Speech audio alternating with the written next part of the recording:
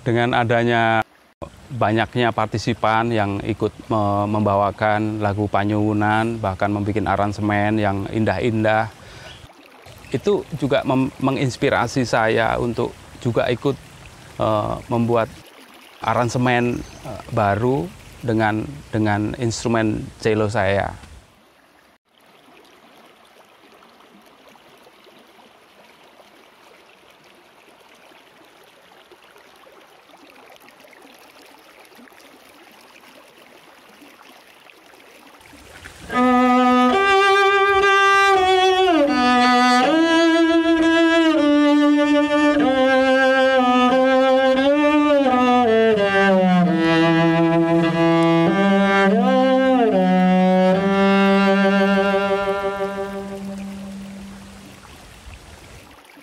Cello ini uh, saya anggap sebagai seperti pusaka. Saya mendapat mandat atau amanat atau katakanlah warisan dari guru saya, uh, Mas Haryo Suyoto. Saya sering memainkan Mas Yose.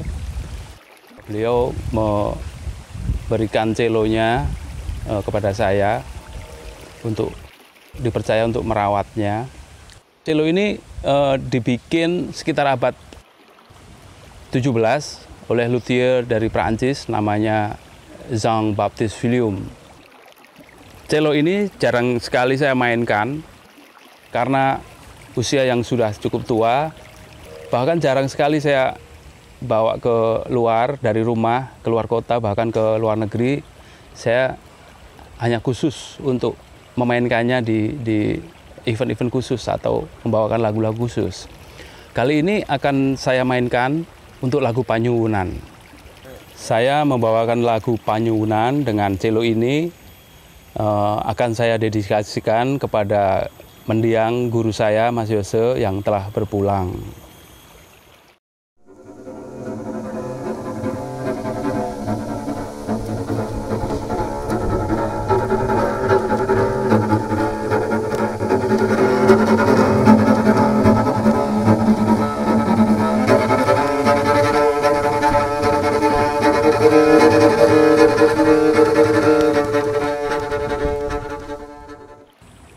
Ketika mendengar musik yang diaransemen oleh Bung Dimawan, uh, aransemen yang baru dengan selonya, uh, saya langsung terpikir uh, sebuah tempat yang luas, terus tempat yang tinggi, tempat yang uh, sangat epik dilihat dari atas dan sebagainya.